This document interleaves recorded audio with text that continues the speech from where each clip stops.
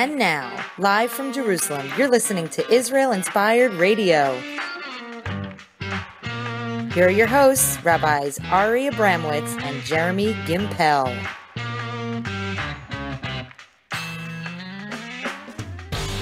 So, my name is Jeremy Gimpel. I haven't left Israel now in more than three years. And this is the first audience that I'm addressing now where it used to be four or five times a year I would lecture around the world. I've been in every continent speaking to Jewish communities around the world. But for the last three years, I've been building and developing the deepest settlement in Judea today. It's a diamond in the crown of the mountains of Judea. It was a barren desert, and it's now turning into a Garden of Eden like oasis. That's the second most popular tourist attraction in eastern Gush Etzion, after the Herodian Herod's summer palace. And um, I just want to tell you the story of how I got there, why I'm there, and what I'm doing there. And I think throughout the story, um, so much is to be learned for our people today. Speak nice and loud, Jerry. Nice and loud. So, my grandfather walked from Russia to Israel in 1916 when he was 15 years old. It took him a year and a half. I today have a 15 year old. If I can get the phone out of that boy's hands for like two minutes, I feel like a hero. My grandfather walked from Bialystok to Israel uh, for a year and a half to establish what would be the new Jewish homeland or the new Jewish state. And he arrived in Israel in 1916. He spent the first two years of his life planting eucalyptus trees all around the Kinneret. He joined Kibbutz Degania at that time, which is the first kibbutz in Israel. And he, he came from an Orthodox Jewish home, but walking at the age of 15 for a year and a half, it was hard to keep kosher. So he kind of became a little bit more just traditional. But Kibbutz Degania at that time was ideologically secular.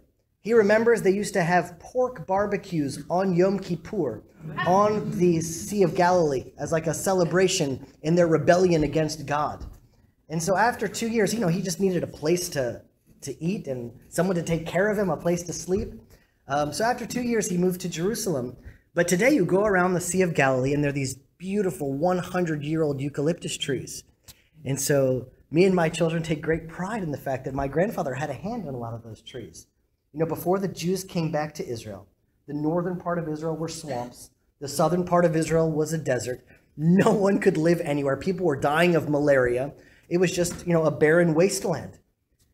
And you know, I just I was in Ben Gurion International Airport just a, just a day and a half ago. And I've been in London, Sydney, Melbourne, LA, New York. Ben Gurion is the nicest airport by far in the whole world. Where we were just about 100 years ago and where we are today in the modern state of Israel is just marvelous. It's a mystery, it's miraculous. But um, I always grew up with the legends of my grandfather because my father was born in Jerusalem. His mother wanted him to become a doctor. My mother wanted me to become a lawyer. In my family, you're either a doctor, a lawyer, or a failure. That's the way it works. and I, you know, I told my parents, I was like, "But Abba, I'm in the middle of law school. I really, I want to be a rabbi." And they're like, "A rabbi? What kind of job is that for a good Jewish boy?" and so um, he wanted to become a doctor, and there was only one medical school in Israel at the time. So he came to the United States uh, to eventually become a doctor. After just a wild story of divine providence and just a Jewish story of unbelievable magnitude, somehow he ended up at Emory University. And eventually, I grew up in Atlanta, Georgia until I was about 11. And then at 11, my whole family moved back to Israel in the middle of the Gulf War.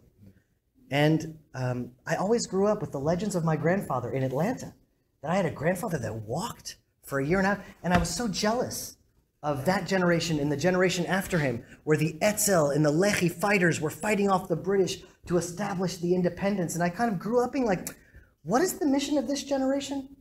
Who are the Etzel fighters today? Who are the heroes of Israel today? Who are they? What uh, high tech? Is it the innovators in Herzliya? Like that's Zionism today? Like what is the mission now? And that's kind of was hovering over my life for years. And then four years ago, I was sent by the mayor of Gush Etzion um, he said the most important and strategic farm is being established in the weakest part in Judea today.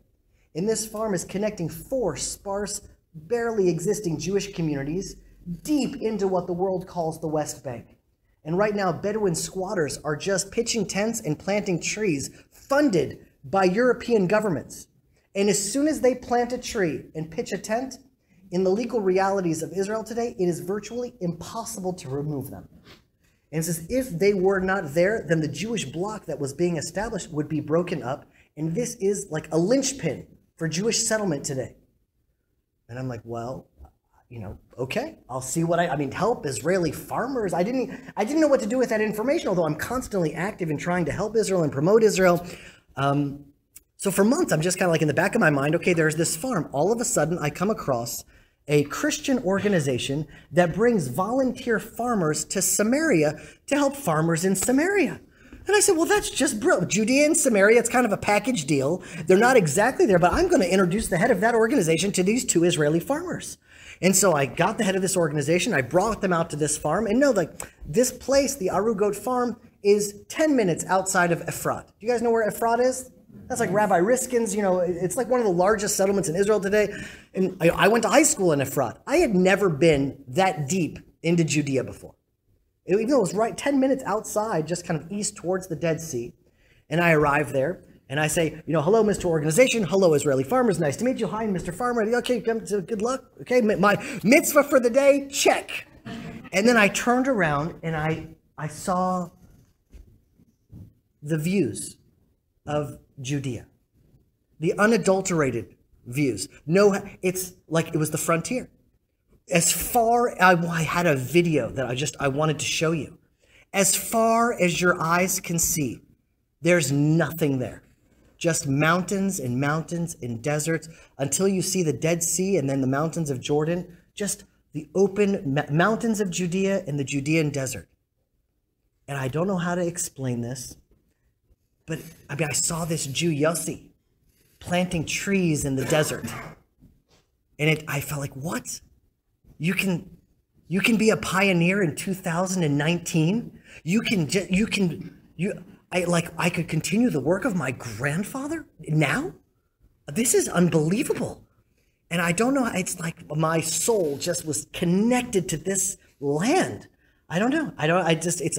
I wish that I could articulate it in a in a better. It was. I was called to the land, like lech lecha. This is meant for you, Jeremy.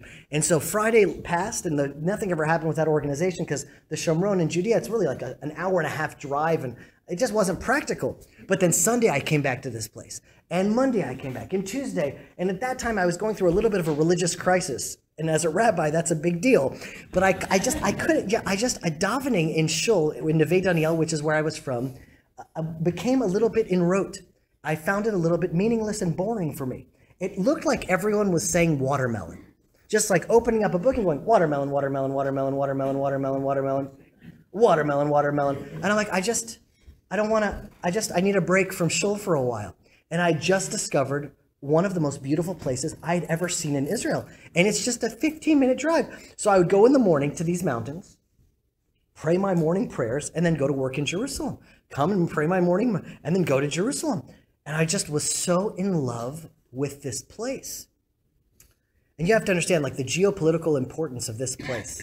There's a story of Ariel Sharon and George W. Bush. They're in a helicopter. And Ariel Sharon says, without Judea and Samaria, there are times when Israel is nine miles wide. And George Bush says, nine miles wide, there are driveways longer than that in Texas. How can you defend a country that's nine miles wide? It's indefensible. And so here we are now, literally strengthening Israel in such a weak area. So I was driven at the beginning by some sort of geopolitical Zionist agenda. I wanted to defend the land of Israel and put an end to the two state solution and fight for our rights in our land.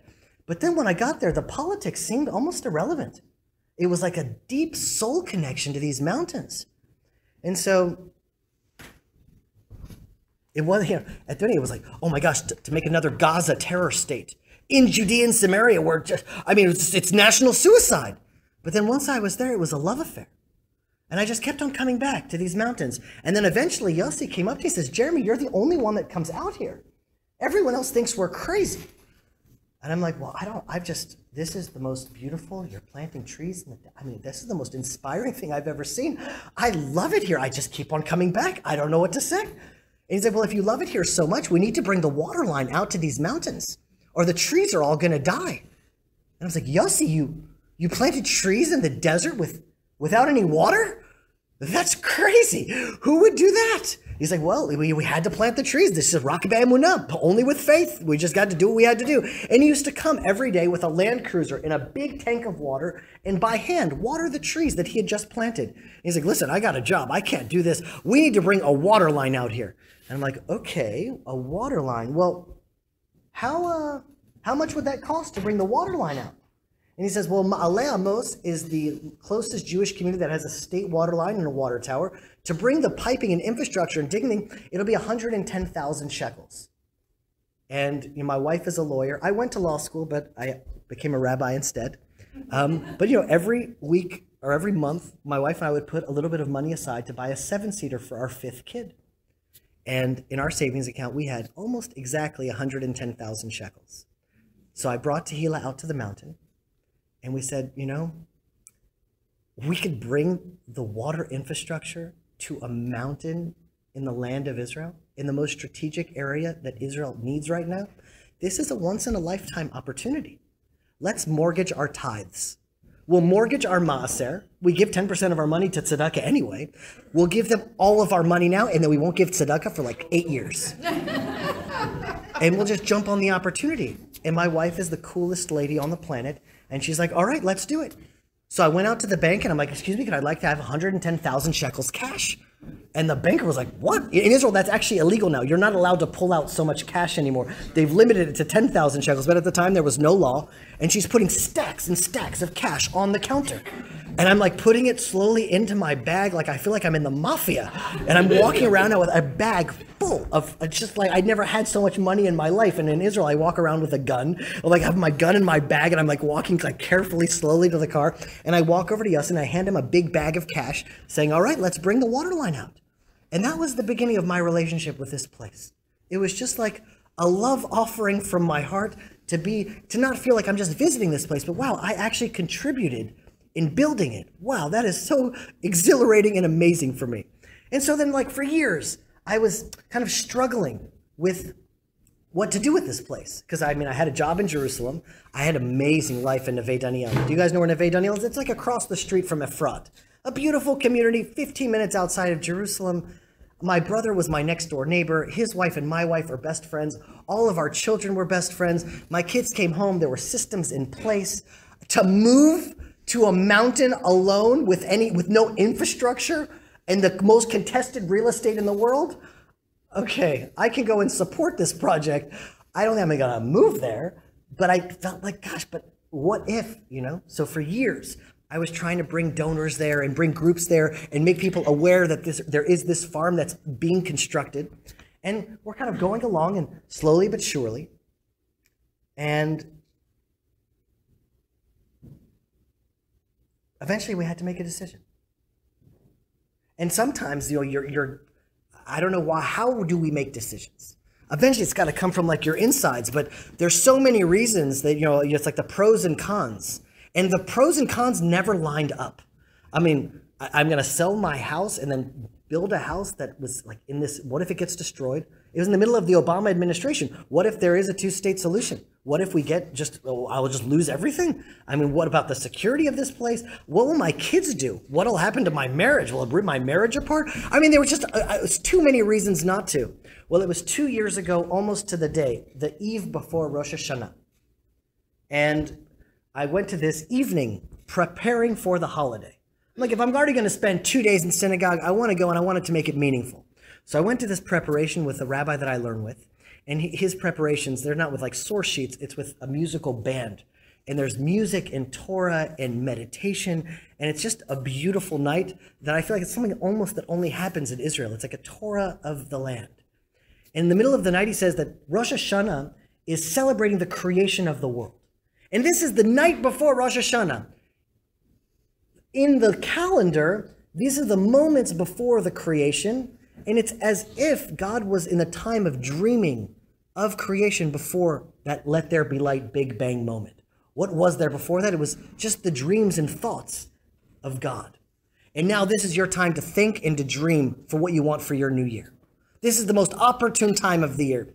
And I'm like, okay, my father is a neurologist and a psychiatrist in Israel. He's one of Israel's experts on ADHD. The reason why he became one of Israel's experts is because he had to raise me. And so to dream up on command is not something that I can just do because as soon as I start dreaming, five other things pop in my head about things that I need to do and things that I want to do. But the rabbi sort of giving us guidance. He's like, well, where are you? Who's with you? Put some color to it. And all of a sudden, I'm sort of making a mental image in my mind. And I start dreaming about the farm. And like, we have a house on a mountain and our children are running through the fields barefoot, and people from all over the world are coming to work the land and volunteer and learn the Torah. It's a beautiful dream. So we go home. We're both, my wife and I are lying in bed, and she's like, Jeremy, what did you dream about? And I said, Oh, Tila, it was beautiful. We had a, a house on the mountain, and our kids were running through the fields, and people were coming from around the world to volunteer and learn the Torah. My wife jumps out of bed in a startled state. I'm like, what is going on? She runs into the baby room, which is like a door right off of our bedroom, which was like a half room where the baby sleeps and they're still little. The baby wakes up. I hear books fumbling off the shelves. She pulls out a notebook and throws it on the bed and she says, Read this. And I open it up and I'm reading, it's her diary from when she was 18. Now, I only met Tehillah when she was 19. And I'm reading, it's my 18th birthday, and I just had the most powerful dream. When I told her what I dreamt of, she had like this deja vu moment. And she's like, I know that dream. And I'm starting to read her diary entry. I'm married with children, and I'm living on a mountain in some type of farm. People from all over the world are coming to volunteer and work the land. And we're teaching them how beautiful the Torah is. And I'm like, what is going on here? This is creepy. What is this? And then the last two sentences I don't know how I'm going to get there. I'm going to need a partner to help me get there, but I believe this is what God has for me in my life. The diary of a little girl lost for 20, I'm almost 40, for 20 years. And now I'm stuck. At that point, I actually felt like I a little bit lost my free will. What am I going to do with that?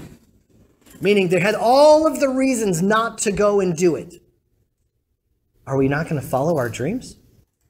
Seemingly being guided before we were even knew each other. I mean, that's too much to deal with. So we were kind of struggling with this for a while, and eventually we said, we only live once. It's too. Uh, it will be the biggest regret of our lives if we just stay here in our comfort zone and always live with what if we would have followed our dreams? What if we were being guided to do something really marvelous for Israel and the Jewish people? Let's just sell our home and just do it. And my wife is like, all right. Every day we say, Ve'ahavta et Hashem Elohecha, bechol levavcha, uvechol nafshecha, uvechol me'odecha. You should love the Lord your God with all your heart, with all of your soul, and all of your... So might, but me'odecha doesn't mean might.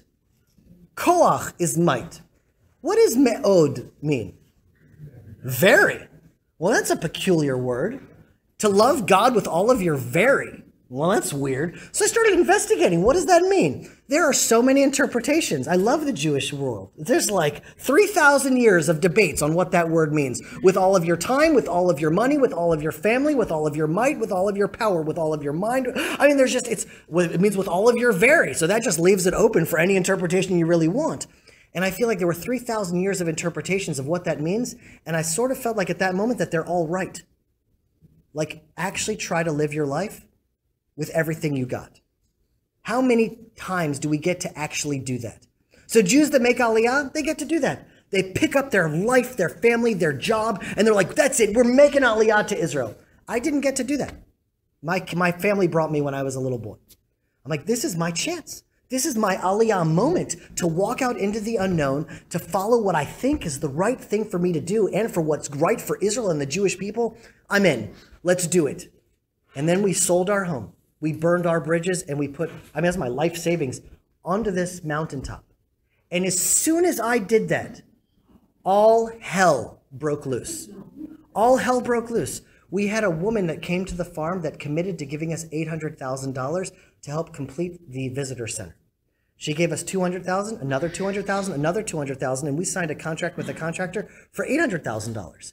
At the $600,000 mark, the Swiss government, because she's a Jewish woman from Switzerland, taxed her 100% for every dollar she gave to Israel. So a $800,000 commitment became $600,000 given to Israel, a $1.2 million expense. And she's not a rich lady. She didn't have $1.2 million. And she's like, listen, until we figure this thing out, I can't make the last payment. And I'm like, oh, we signed a contract for 800,000. This is going to get ugly. And so eventually the contractor saw what was up and it was time to make the next payment. And we're like, listen, Mr. Contractor, I'm sorry, but we don't exactly have the funds right now. And he's like, well, if you don't pay me, I'm not going to build your house. I'm like, what, not build my house? Wait, no, no, no. I have enough money for my own staff house on this property, but let's just separate the things. I mean, I have six kids. He's like, I'm sorry, if I don't get paid, I have workers to pay. I've bought materials. I want my payment. And if you don't pay me, I'm not building your house. And I'm like, okay. So for a month, Tehila and I were traveling around Israel with six kids. A week in Ashkelon, a week in Tveria, a week in Jerusalem, just wandering because we had nowhere to go because our house wasn't being built. At the same time, three left wing organizations. I do this left wing thing because I don't know what makes them left wing. I don't know what does left wing mean. There were always Jews amongst us that were enemies of the Jewish people that um, ratted us to the Catholics, ratted us to the communists. They worked alongside the Nazis. So there are these other organizations that are receiving $5 million a year from three European governments. And their job is to sue places in Judea and Samaria to destroy anything that's being built there. At that time, 18 homes were just destroyed in a community next to me called Elazar in a neighborhood called Netiv HaAvot. The same three organizations finished destroying those homes, and they said, oh my goodness, this farm is actually getting built. They are the next, and all of their resources now, they attacked our farm. And I'm like, oh my goodness, I don't have a home. I'm in 700,000 shekels of debt, and I'm being sued now to destroy everything that I've built. What have I done? I'm I'm following my dreams. I'm what am I an insane man? What is wrong with me? I have six children. This is so irresponsible. What have I done? And so I'm trying to like navigate through a lot of chaos now. And as I'm like trying to like work through this, I'm like these three European countries, Germany, Denmark, and Norway, it's not warfare, it's lawfare. Now it's me and my six kids are up against three countries in Judea and Samaria, going like that, guarding our land, our homeland. And I, it's like not fair. They have more money, they have more power, and here they are suing this little Israeli family that's just trying to do the right thing. And at the same time, they're calling me a colonizing settler. Imagine that. Why are Jews called Jews? So usually I bring this up with every group that comes to Judea and comes to our farm, and groups from all over the world come. And I, this is an important note. So usually there's a relatively knowledgeable Christian in the group. They'll be like, "Oh, you're from the tribe of Judah," and I'm like, "Well, that's not true. The first person in the Bible to be called a Jew is Mordechai. Mordechai Ha-Yehudi, right? It's in the book of Esther. And then the pasuk continues, Ish Yemini, from the tribe of Benjamin. Well, if he's from the tribe of Benjamin, why is he called a Jew? Why is he called a Yehudi if he's from the tribe of Benjamin? Well, here's the real answer Jews are called Jews not because of the tribe of Judah, but Jews are from Judea. Japanese are from Japan. Chinese are from China. Hungarians are from Hungary. Jews, we're from Judea. Now imagine that. It sounds almost logical. West Bank occupying settlers evacuate this political territory. Okay, maybe that sounds legitimate. But really, what they're saying is Jews, get out of Judea. And that's just a little bit harder for the ear to hear. So they have to like make up new. I mean, every map in history. I live in the mountains of Judea, the Judean desert. Only recently, the area has been called the West Bank. West of what? What is it west of? It's west of Jordan. Jordan has no claim on the land. It's an illogical name. Jordan's not asking for the land, but every time CNN talks about Judea and Samaria, they will call it the West Bank. Now imagine this. Three European countries are calling me a colonizing settler. While they're meddling in my country's business for their political agendas, they're calling me a colonizer while they're literally trying to colonize Israel. The chutzpah and the irony. Just like a little bit of truth. And so here I am just like struggling and struggling. Just like, I mean, you saw, I put money aside to buy a car. I'm in 700,000 shekels of debt. I'm being sued in the Supreme Court of Israel. I, my house isn't being completed. Eventually, the contractor's like, I want my payment or I'm taking you to court. And I'm like, we just, as soon as money comes in, Abu Shadi, we are going to pay you. He's like, well, you have sheep. We had 70 sheep, a flock of sheep. I was like, you can pay in sheep? I just didn't, I was like in Neve Daniel and in Boston, you don't pay with sheep. In Hebron, you can still pay in sheep.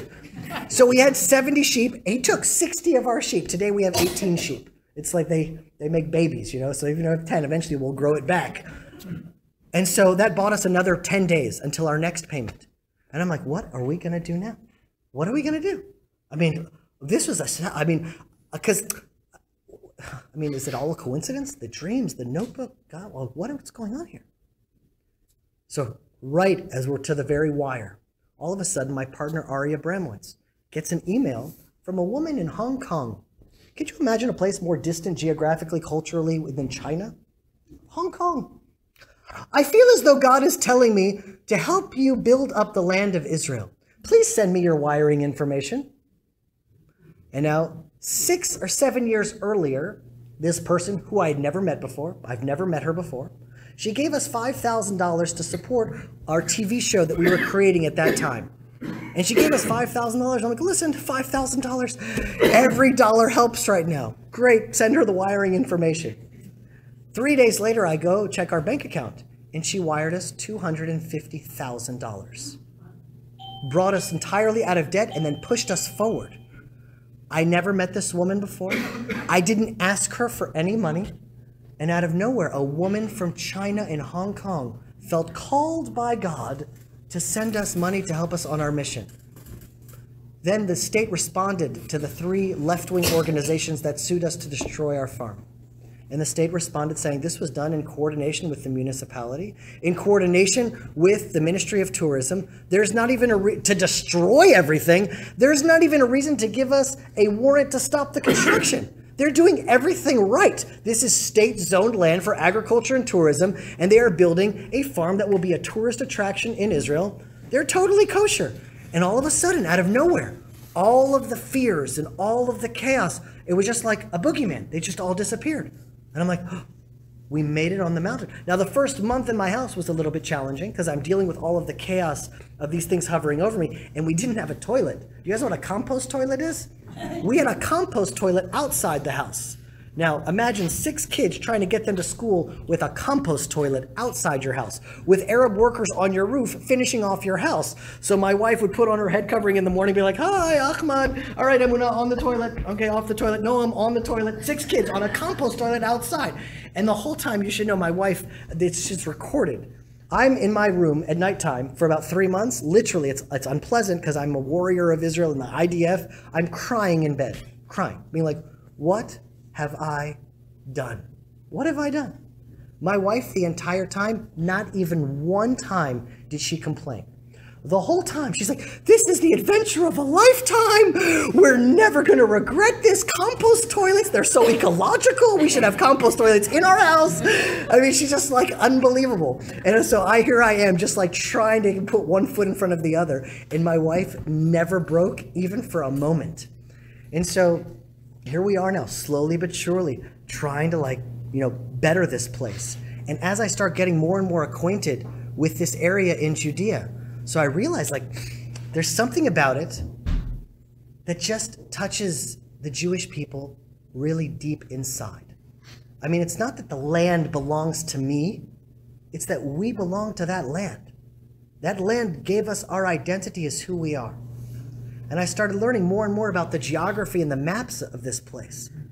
And those mountains in Judea are specifically called the mountains of Ziph. And it's where King David ran to before he became king, when he was hiding from Saul. It says he ran to the mountains and wilderness of Ziph.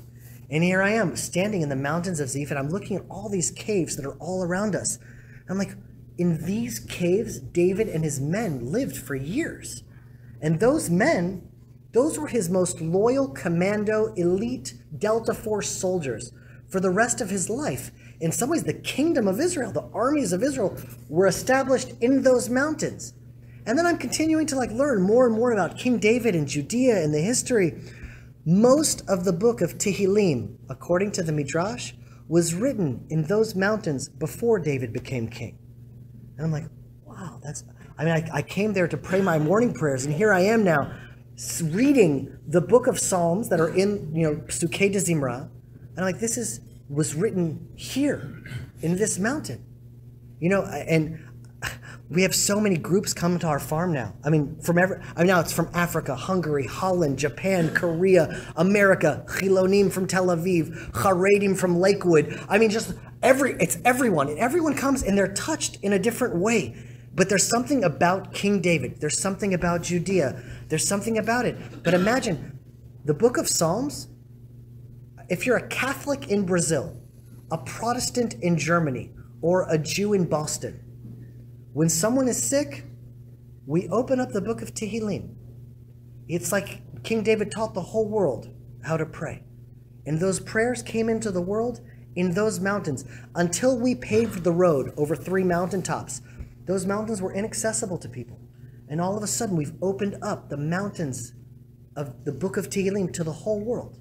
We had a dream that the place would be a place of meditation, of prayer, of music, of art, that there would almost, we would innovate a new concept in Israel called spiritual tourism. That, you know, if people want to go to the beach in Eilat and Tel Aviv, fine. But someone that wants to go on a pilgrimage, a spiritual encounter. Israel is the most spiritual country in the world, and spiritual tourism isn't really developed. And now this would be an amazing opportunity because we're so we're only 25 minutes outside of Jerusalem, but once you're there, I wanted so much just to show you some videos and drone footage. There's you're in the middle of the mountains, in the middle of nature, underneath the stars. It's just uh, it's gorgeous. Like I can try to explain, and even the videos, it's like showing you a, a sheet of music, and then one is like going to the Philharmonic Orchestra. It's like nothing that I can say can ever really do it. I mean, look, Yonina came one time and she's like, everyone in Boston needs to know about this. And she wanted to bring everyone together just so they could experience and hear what she saw.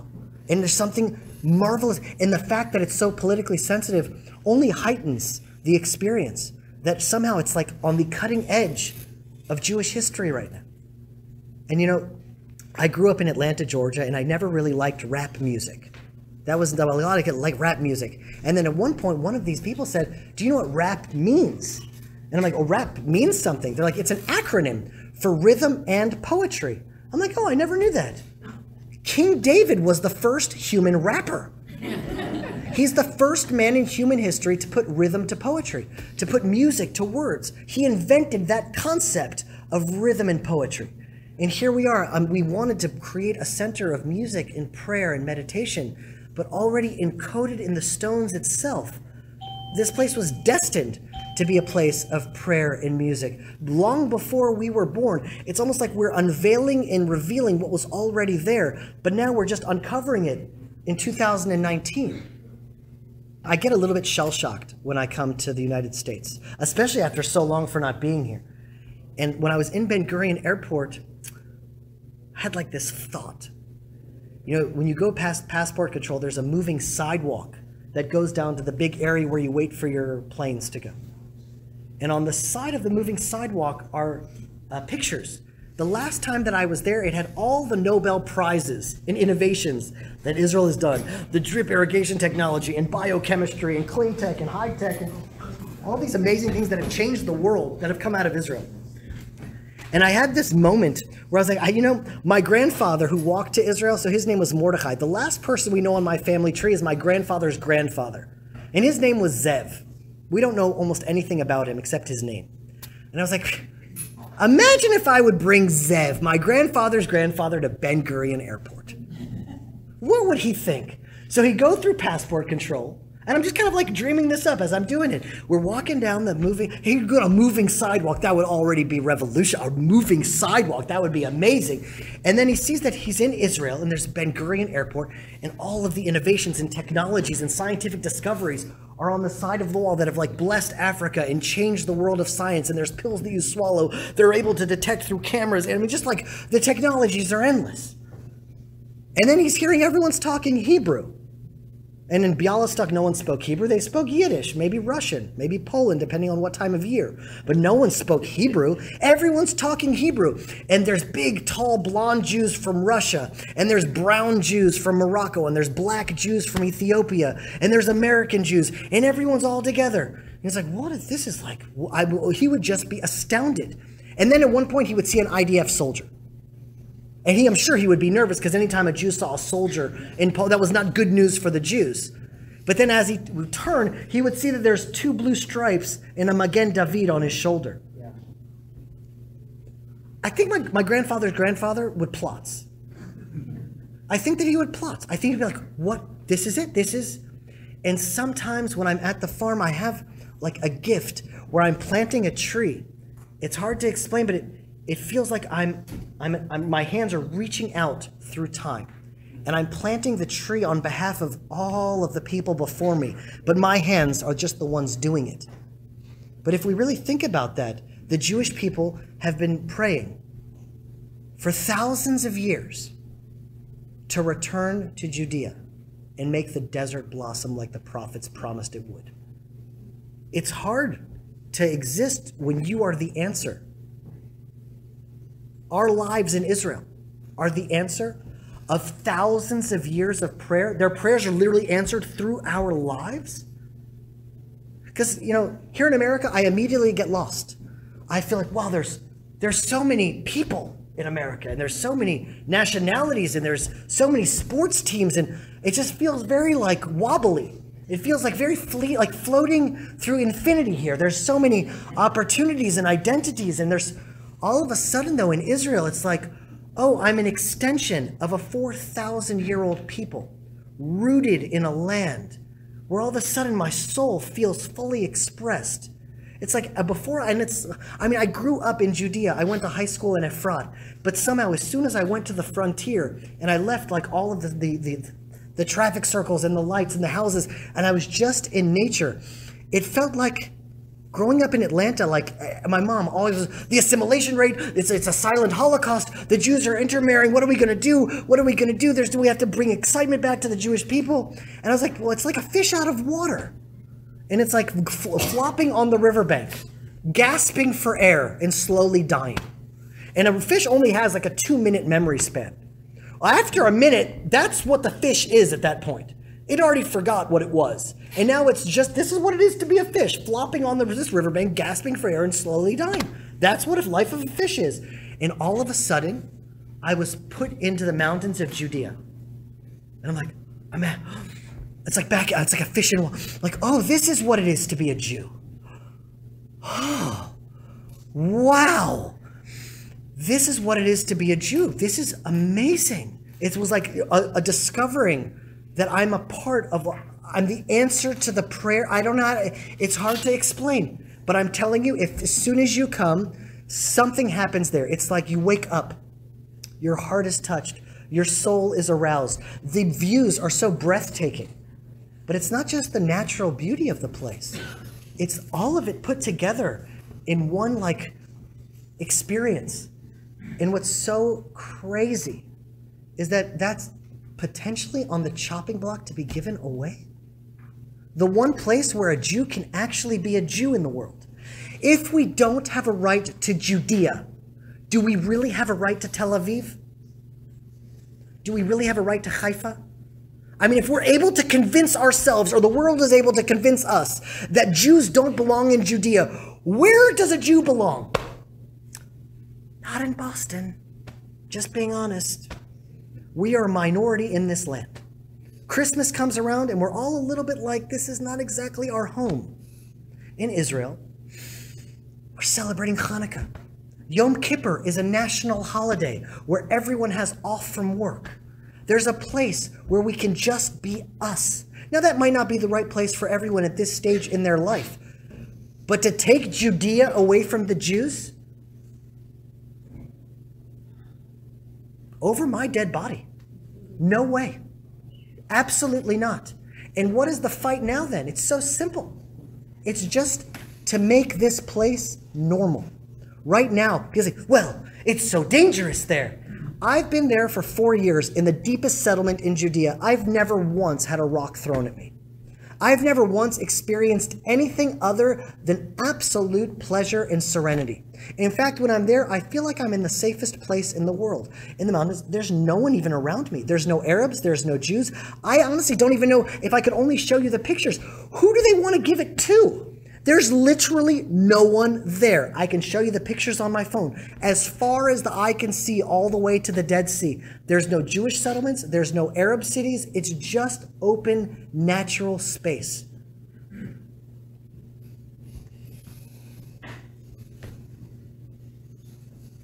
What is the mission of this generation then?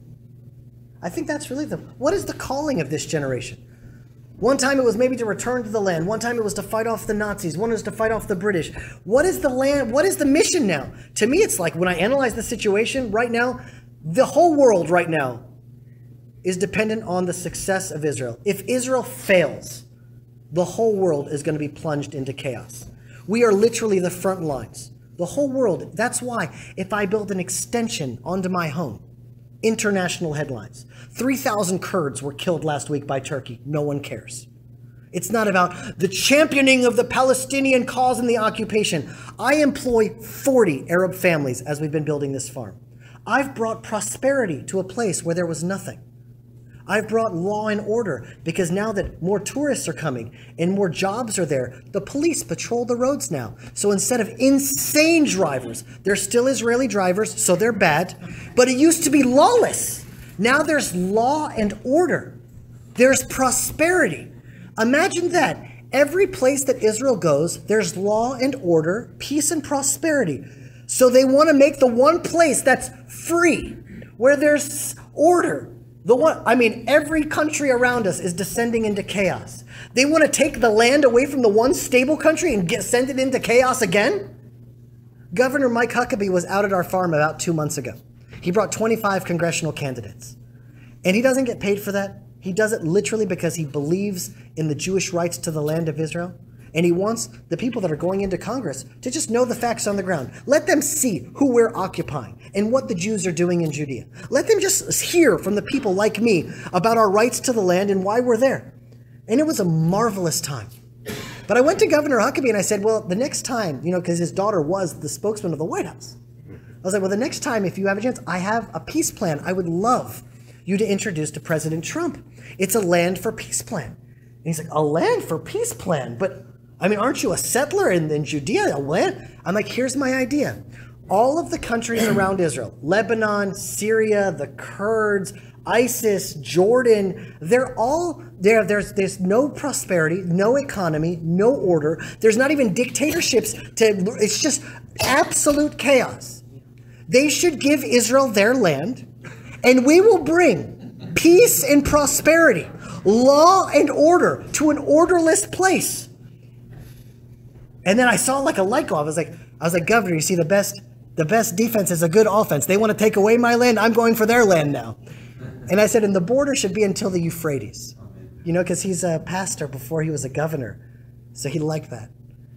But I think that that's, you know, Israel is the only chance that the Middle East and ultimately the world has. And so that's really a big responsibility to be a light to the nations in the darkest region in the world. So if we think that really like the future of the world is resting on Israel's shoulders, then when we look inside Israel, what's the linchpin? What is the mission of this generation? My friends, it's Judea and Samaria. That's what's on the chopping block right now. All efforts need to be in strengthening the weakest place. It's also our homeland. It's where we come from. Without Judea, what are we? We're just a religion? Is that really what we are? And then what kind of religion? Are we reform? Are we conservative? Are we orthodox? People say that I'm orthodox, and I just abhor that word. It sounds like I'm a shoe doctor. In Israel, no one says the word orthodox. Orthodox? Who is our marketing guy here? Orthodox? So what's that? But Judaism is not a religion. In Israel, you know that. In Israel, you feel that. We're a family. In Israel, we're a nation, we're a country, we're a people with a destiny.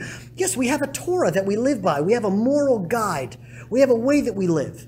But it's not a religion. I mean, we had to kind of keep it as a religion for 2,000 years. We had to like pack up our national identity into a religion so we could maintain those values. But now that we've returned to the land of Israel, Judaism is so much more holistic than just a religion. It's not just another part of my identity. I'm an Atlanta Braves fan and I'm a Republican and I'm a Democrat and I'm a Jew and I'm a this and I'm Jewish. It's it's it is it is the way of life there. It is just it is all encompassing. The kids go to public schools, but the public schools are teaching Parashat Shavua, meaning like you know it's just, it's a part of this the reality of what it is to be a Jew. And right now, the weakest place in Israel is Judea and Samaria. And so, what do you need to do? When you come to Israel next, come to Judea and Samaria. I feel like every single person, Jew or non Jew, that comes to our mountain, it's a mitzvah. It's a mitzvah. We're normalizing the most unstable place in Israel. We're making prosperous. We're bringing jobs. We're bringing tourism. That is the mission. The more normal it becomes, the more it becomes ours. Not only for us. I honestly don't understand. I spend most of my days now with many Arab workers. I know their families. I'm with them.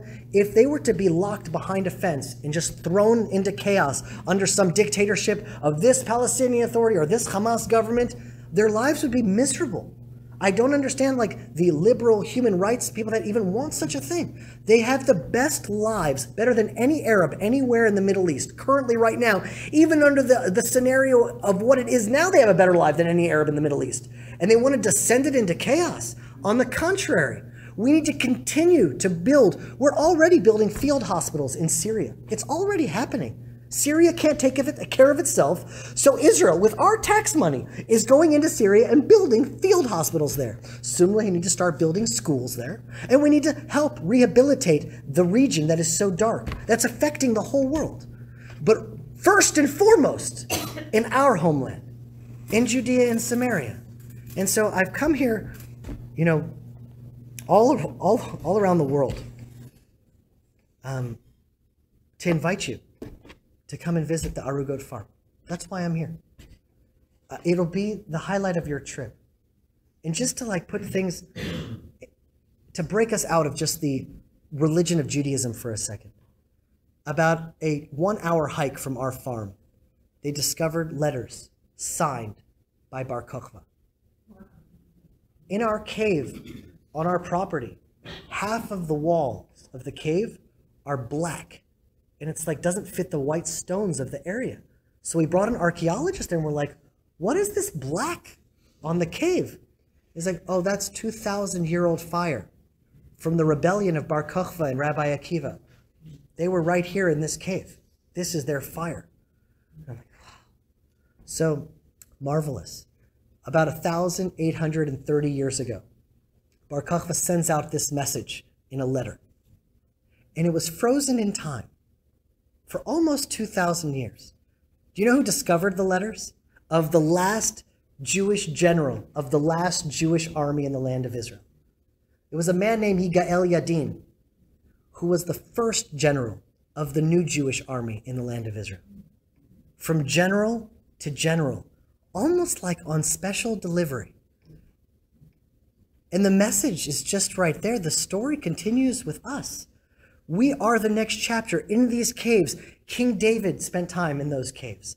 The Maccabees escaped to the mountains of Ziph. Bar Kokhba was there. And here we are, 2019. The Jewish people are still fighting for our freedom in Judea once again.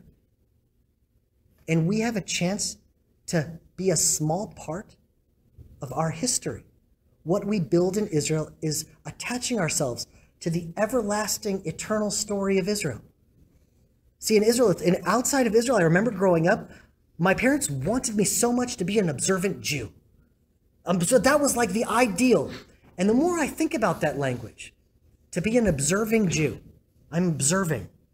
I'm watching history unfold before my eyes, and I'm observing it from the sidelines. The other option is to get the ball and run down the field to not see ourselves as observers of a religion on the sidelines watching it happen, but to take our place within Jewish history, to take the ball and run down the field and push the story forward as players in the game. The story continues with us. And now this is the greatest chapter of the story. This last week at our farm, from Sunday until Shabbat, On Wednesday, they're leaving. We had 12 German volunteers come to our farm. These Germans are the children and grandchildren of Nazis. They spent seven days while I was there building a 200 meter pergola right outside the largest ecological pool in, in Israel, which is on our farm. Because we're making it into a Garden of Eden like oasis at the edge of the desert. And the ecological pool is gorgeous. But there was no shade. We're in the middle of the desert. So they built us a beautiful, amazing 200 square meter pergola that now there's shade in the desert next to the most beautiful pool. And for day after day, they would wake up and work. And when they say they're going to be up at 6:30, I'm still like on Jewish time at 6:37. I give them a call. We are waiting for you, waiting to work. And I'm like, oh my gosh, Germans!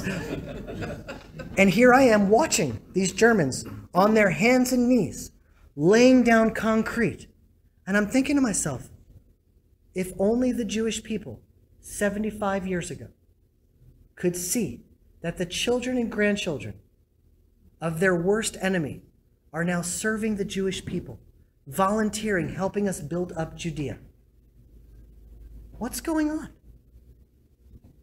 We are living in the most marvelous times.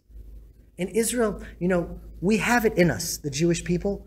We want to change the world. We want to. Look at all of the organizations Greenpeace, the NAACP. They're all Jews. There are Jews everywhere helping change the world, saving the whales, saving the this. As a Jew, maybe you can save six whales. At best, seven. If you really want to fix the whole world, we need a country. And that's why tikkun olam is just the first part of that statement. It says tikkun olam b'malchut shaddai, in the kingdom of God. We're going to need a kingdom, a country, to really change things.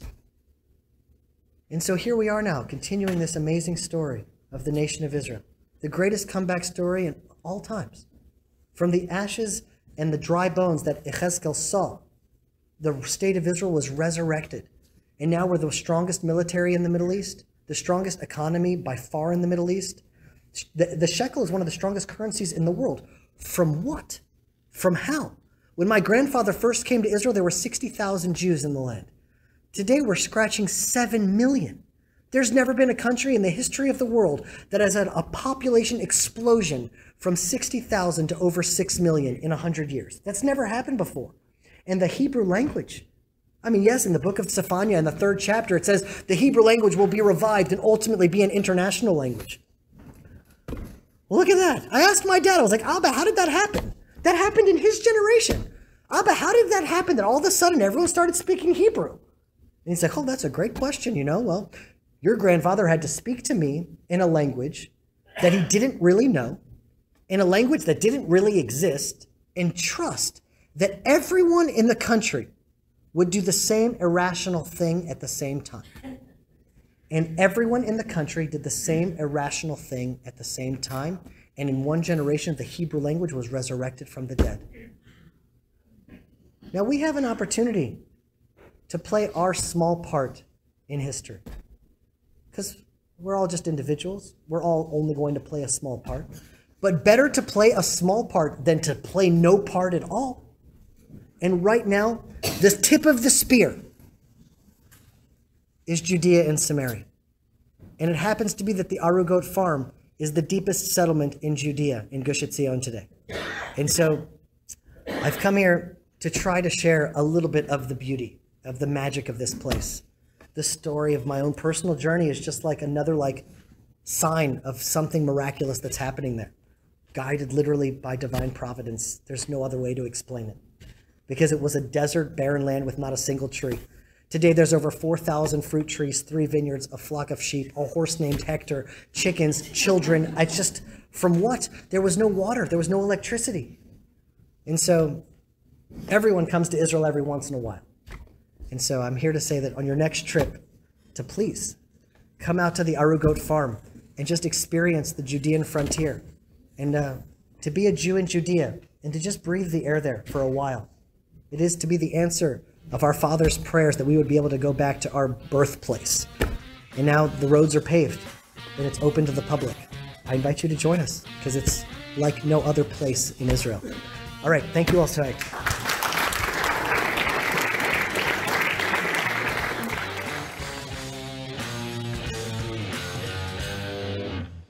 Hanukkah Sameach to all of our listeners. Let's keep our lights shining bright. Happy Hanukkah from the Land of Israel Network at thelandofisrael.com. Hi, this is Gil Hoffman, host of Inside Israel Today. Happy Hanukkah from Jerusalem. So let's be together. Let's light it up.